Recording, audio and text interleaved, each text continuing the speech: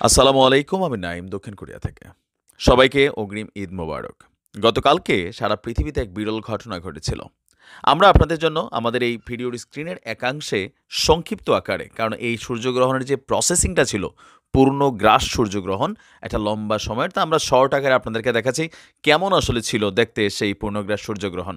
শুধুমাত্র Europe, America বা কিছু রাষ্ট্রে যারা বসবাস করছিলেন, তারা কেউ কেউ স্পেশাল একটা চশমা, কেউ বা টেলিস্কোপ বা নানানভাবে খালি চোখেও কিন্তু অনেকে সূর্য, এই পূর্ণগ্রাস সূর্যগ্রহণ উপভোগ করেছেন। দর্শক, এই সূর্যগ্রহণের সময় অ্যাকর্ডিং টু ইসলাম, আল্লাহ রাসুল বিশেষ নামাজের আয়োজন করতেন। এর একটা প্রভাব পড়ে আপনার, কি বলা হয় যে, প্রাণীকুল মণ্ডলেও। আমরা যারা হলিউডের ছবি দেখি আপনি দেখবেন যে ওই যে ওল্ফ টাইপের বা নেকড়ে টাইপের কিছু ছবি আছে যে সোলার এক্লিপস টাইপের ছবিগুলো বেসিক্যালি পূর্ণ সূর্যগ্রহণকে বেসিস করেই গড়ে ওঠা কিছু ছবি। তো এগুলার কি আসলে কোনো প্রতিক্রিয়া প্রাণীকুলে পড়ে বা মানবকুলে পড়ে? জি। পড়ে আমরা মানবকুলের উপরে একটা বিষয় এখানে ক্লিয়ার করছি। গতকালকে সূর্যগ্রহণ দেখার পর অনেকেই চোখে জ্বালা পোড়া করছে, ব্যথা করছে, নানান ধরনের কারও মাথা ব্যথা মাইগ্রেনের সমস্যা হয়েছে।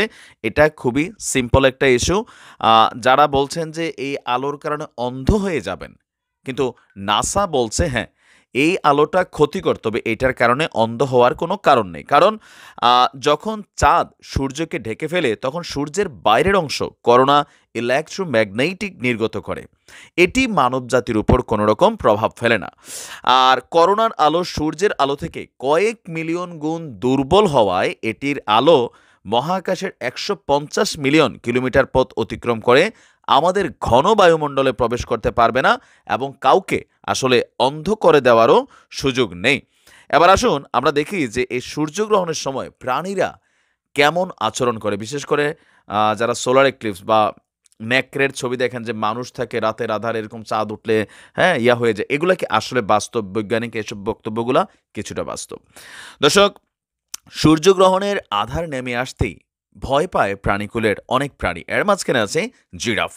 জিরাফের ছোটাছুটি শুরু হয়, পেঁচা ভয় পায় ভয় সে ডাকতে শুরু করে। এবং মৌমাছিরা মৌমাচাকে ফেরার মতন আপনার ঘটনাও লক্ষ্য করেছে বিজ্ঞানীরা। মানুষ বিস্ময় দেখে নিয়ে, মানুষ দেখি আমরা বিস্ময়, ওয়াও, হোয়াট এ সূর্যগ্রহণ। কিন্তু সূর্যগ্রহণের সময় চাঁদ যখন পুরোপুরি সূর্যকে ঢেকে ফেলে, তখন পৃথিবীতে রাতের মতো অন্ধকার হয়, সেই সময়টুকুতে প্রাণীকুল নানান ধরনের ডিফারেন্ট অ্যাক্টিভিটিস করে, যেটার উপর গবেষণা করেছিল বিজ্ঞানীরা। প্রাণীরা তাদের শরীরবৃত্তীয় প্রক্রিয়ায় চব্বিশ ঘণ্টার চক্রে জৈবিক ঘড়ির উপর নির্ভর করে।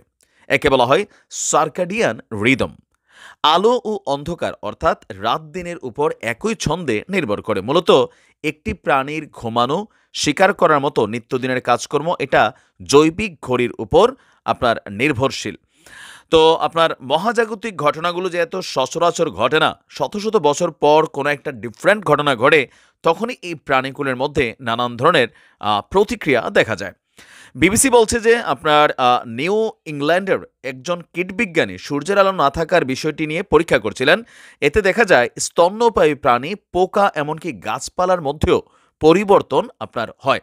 সূর্যগ্রহণের সময়টিতে পেঁচার ডাক, মৌমাছির মৌচাকে ফেরার মতন ঘটনা, নেকড়েদের মধ্যে একটা সামান্য ক্যারেক্টারগত কিছু পরিবর্তন মানে ওই যে মানুষ থেকে নেকড়ে হয়ে যায় ওটা না। মানে ধরেন তারা স্বাভাবিক যে আচরণ করে সেগুলোতে কিছুটা ভিন্নতা থাকে। এর পাশাপাশি জিরাফের মতন প্রাণী বা আরও অনেক প্রাণী আপনার এই ধরনের রহস্যময় কিছু আচরণ করে। এছাড়া চিড়িয়াখানার কচ্ছপেরা আপনার বলা হচ্ছে যে ওই সময় সঙ্গমে লিপ্ত হয়। ওরেনগো আইডাহে মিজৌরিতে ভোমরারা গুঞ্জন বন্ধ করে দেয়।